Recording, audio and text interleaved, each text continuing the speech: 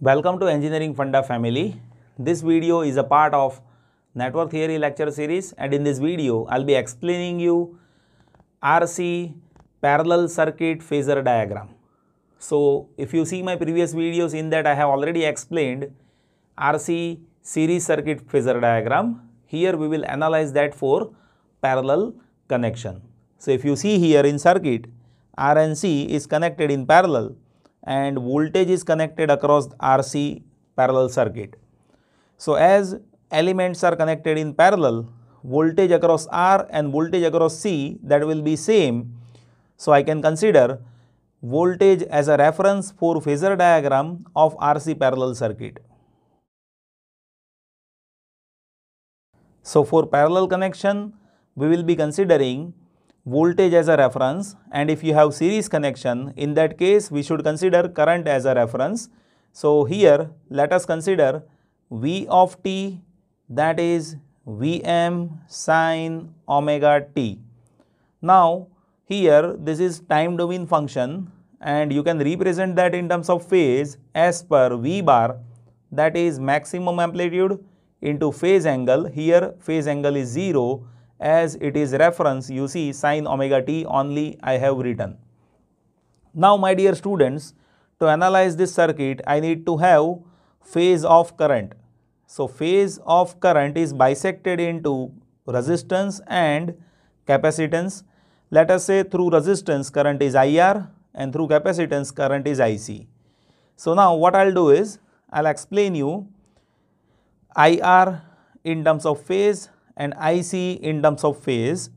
So here IR in terms of phase that is voltage in terms of phase divided by resistance and you can say voltage in terms of phase that is Vm angle 0 as we have considered that as a reference divided by resistance R. Now if you want to calculate IC in terms of phase then IC in terms of phase will be voltage in terms of phase divided by impedance of capacitance.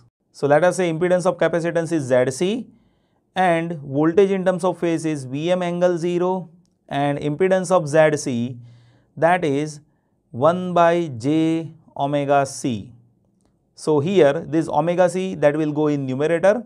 So I can say Vm into omega c and here j will be having angle 90 so in numerator angle is 90.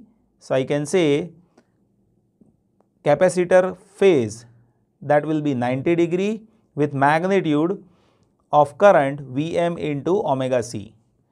Now we are having current IR and IC. So if you consider this node which is having voltage V then apply KCL at node V.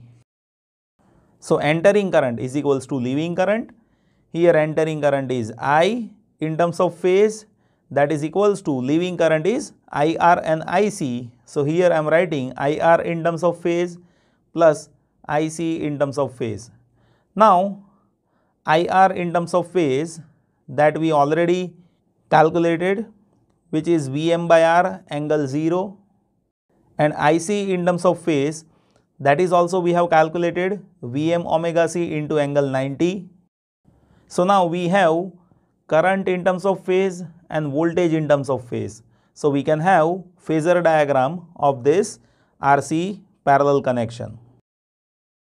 Now my dear students, if you observe voltage in terms of phase is having maximum voltage Vm and angle 0.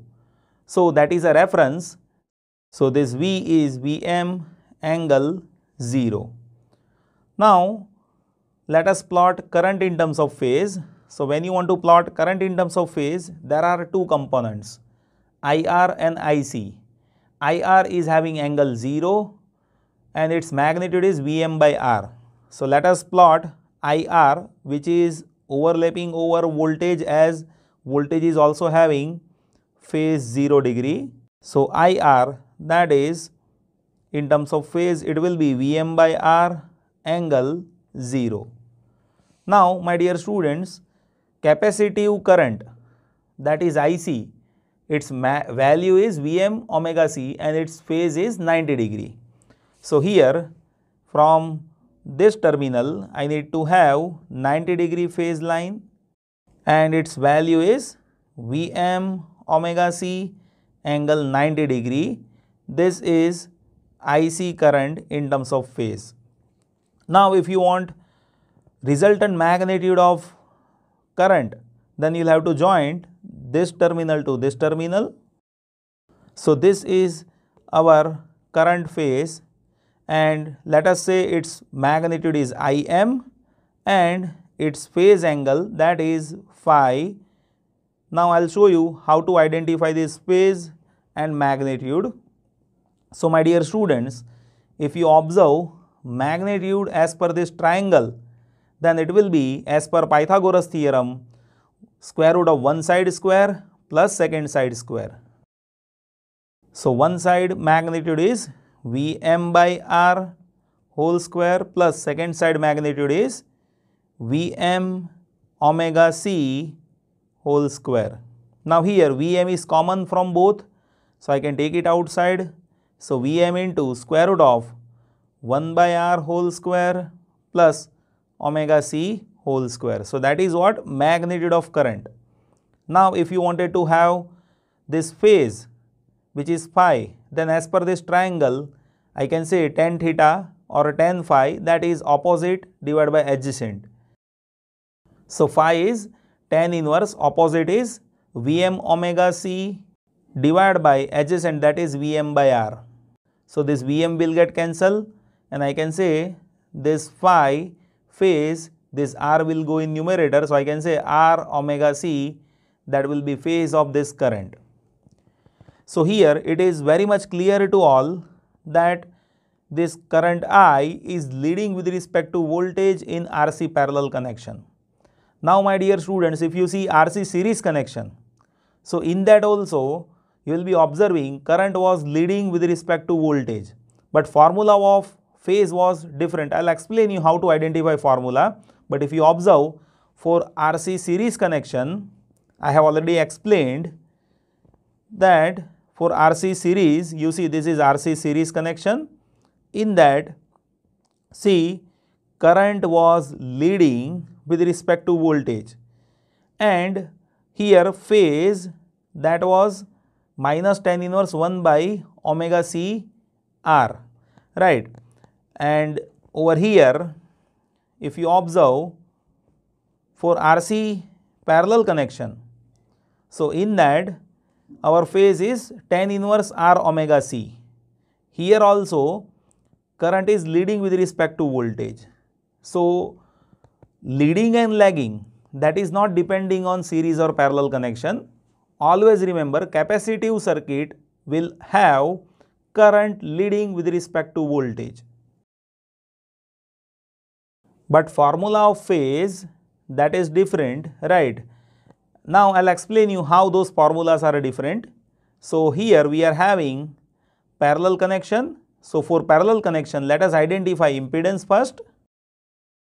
So for parallel connection 1 by Z that is equals to 1 by ZR plus 1 by ZC. Now here 1 by Z that is admittance and ZR is R only and what is ZC that is 1 divided by J omega C. So what will happen here? This is 1 by r plus now j omega c will go in numerator. So I need to write plus j omega c here. So let us represent this admittance in terms of magnitude and phase.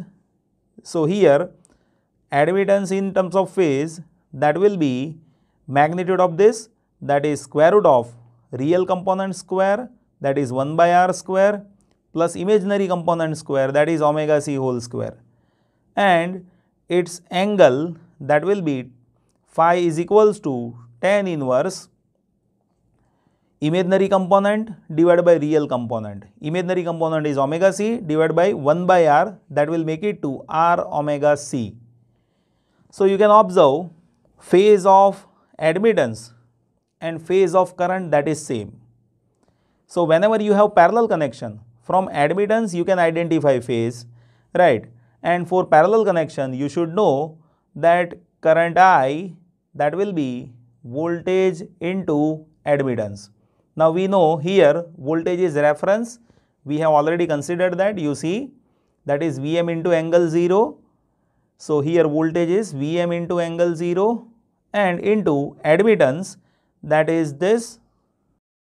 So I can say this is Vm into square root of 1 by r square plus omega c whole square with phase phi and that phase phi is how much tan inverse r omega c. So see that is same as this right. So my dear students one thing that you should remember whenever you have parallel connection at that time you should identify phase with respect to admittance and that phase will be of current. And whenever you have series connection at that time you can identify phase with respect to impedance and that will be phase of voltage. So that is how you can easily understand phasor diagram. You don't need to remember these formulas. Directly by impedance and admittance we can calculate phase of series and parallel connection. I hope you have understood this. Still if any query is there just post that in the comment box. I'll be happy to help you. Thank you so much for watching this video.